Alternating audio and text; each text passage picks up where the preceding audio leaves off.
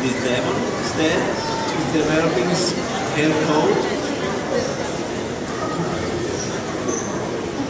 Very pretty face.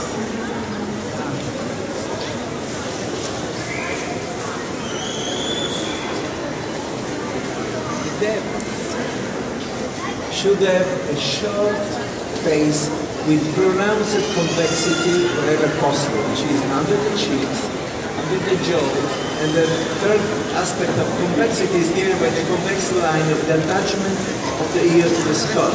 The attachment happens to be loud, more or less in the middle of the skull, and almost transversal because the, lobes that at this age the Devon has. The eyes because of all this complexity of openings, like this gigantic in comparison with head. Of course, everything is small, but the ears are large in proportion to head.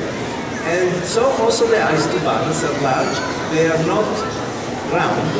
Uh, they convey almost a rounded eyes when excited. The Devon instead has uh, corners, so the shape is the shape of a lemon, but very open. And uh, in order to match all these and have a short muzzle, we need to have a very curved profile. This is a very nice in kittens, we always have to wait in order to see one of the important characteristics. This is sometimes a penalization of the breed because at the kitten level, some already have developed colours and some don't. If they don't, we don't know.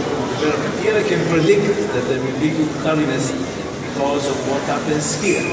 But, uh, well, this is actually a ring.